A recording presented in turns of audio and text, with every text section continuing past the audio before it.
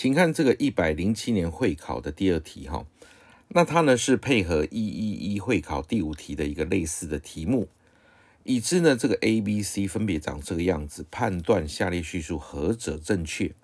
那事实上这一题考什么呢？这一题考的就是你会不会把这个挂号把它去掉。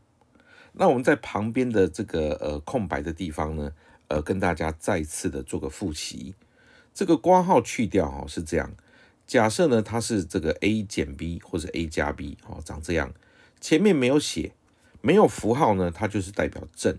那正的话呢，你把括号去掉，直接照抄，就直接把括号去掉，照抄就对了。所以呢，这个出来的结果呢，就会是 a 减 b，那这很简单，对不对？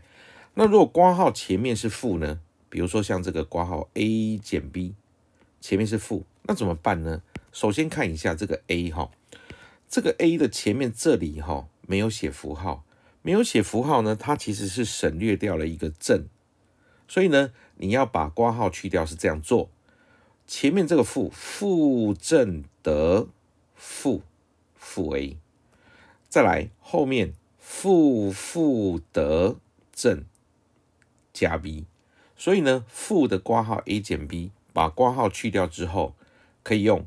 负正得负负 a，负负得正加 b，所以这个括号去掉就变成负 a 加 b。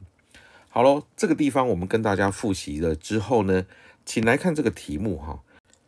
老师把这个 a b 哈有括号的先把它写下来，请看这个 a 括号前面没有符号，没有符号就是正的，去掉括号直接照抄，所以呢这个 a 呢就会等于十四分之三。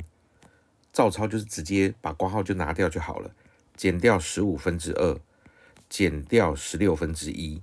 好，这时候呢，你去跟 C 来比较一下，十四分之三减十五分之二减十六分之一，所以从这个地方你就可以知道 A 跟 C 一样。好，我们接下来再看 B，我们要把 B 呢这个括号去掉，请看重点在后面这里哈。十五分之二的前面没有符号，没有符号是省略掉一个正，所以呢，你要把括号去掉，负正得负，不要忘记后面还有哦，还有一个负，负负得正。那前面呢？前面这个呃没有去掉括号的部分，没有算的地方呢，你就把它照抄，所以它还是十四分之三。那你比较一下哈。这个 b 呢叫做十四分之三减十五分之二加十六分之一，它的后面是加十六分之一。可是呢，这个 c 呢后面是减十六分之一，所以我们就知道这个 b 呢跟 c 呢是不一样的。b 跟 c 不一样，a 跟 c 一样，b 跟 c 不一样。所以这一题很清楚的答案选 B 这个选项，答案选 B。